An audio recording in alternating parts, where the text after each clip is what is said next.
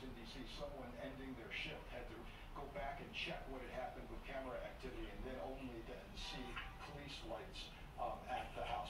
Why is it that there was no marked police presence at the person's home who is, as you said, the second in line to the presidency? And now we're learning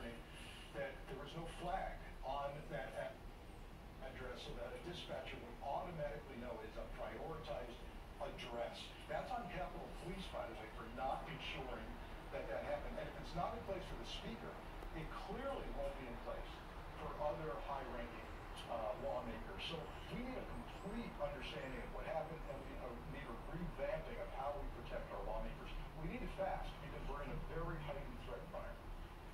And Ashley, uh, she, in fact, Nancy Pelosi, is the most threatened figure in Congress of all the people.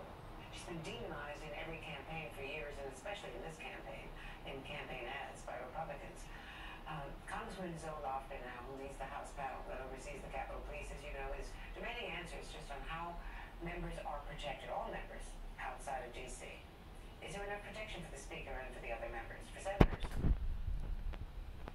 Well, this is an issue uh, that the Capitol Police and, and lawmakers are grappling with right now. You'll recall that after the January 6th attack, there were already significant concerns raised uh, about the Capitol Police, their preparation, their response,